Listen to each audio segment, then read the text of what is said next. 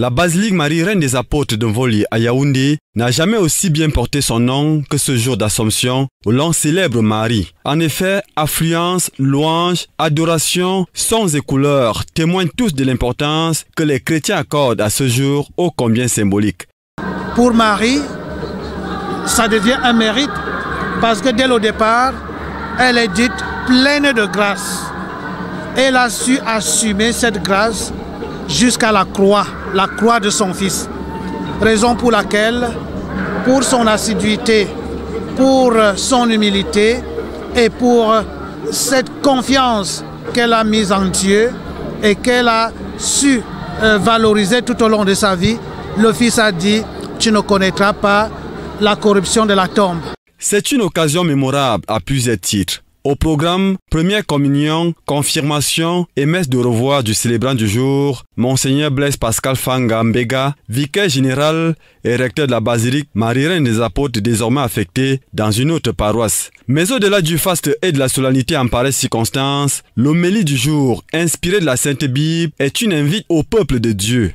Alors tout le monde aujourd'hui est invité à imiter Marie dans des petits gestes du quotidien.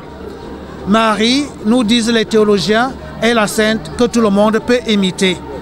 Elle est une personne humaine comme vous et moi, raison pour laquelle nous, nous invitons le peuple de Dieu à imiter les simples et les petites valeurs et les vertus que la Vierge Marie a su faire montre tout au long de sa vie durant.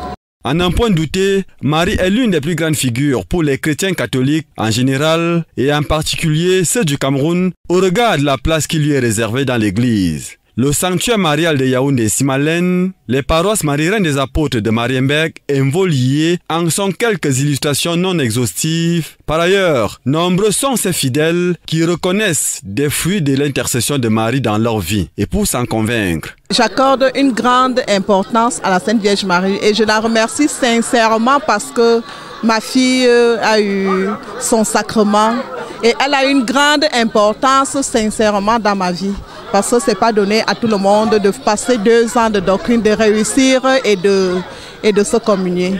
Sainte Vierge Marie, c'est l'intercession, l'intercession à, à profusion pour moi, toujours et toujours et miracles. Et des miracles justement, on vous les souhaite à vous autant, vivement.